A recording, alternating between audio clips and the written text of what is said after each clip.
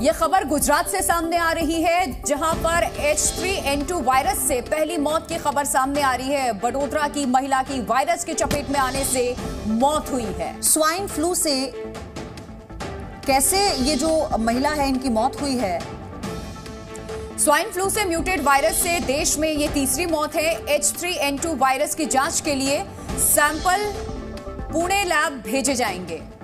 तो ये बड़ी अपडेट आपको बता दें, थी स्वाइन फ्लू से महिला की मौत का मामला सामने आया है, ये पहली मौत हुई है।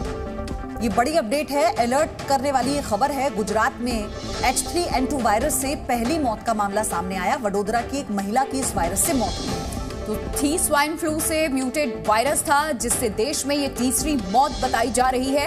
H3N2 वायरस की जाँच के लिए सैंपल अब पुणे लैब भेजे जाएँगे। ये बड़ी खबर और साथ ही सावधान करने वाली खबर भी है। वायरस से देश में ये तीसरी मौत, जाँच के लिए पुणे लैब अब महिला के सैंपल को भेजा जाएगा। तो थी स्वाइन फ्लू से म्यूटेटेड वायरस से देश में ये तीसरी मौत।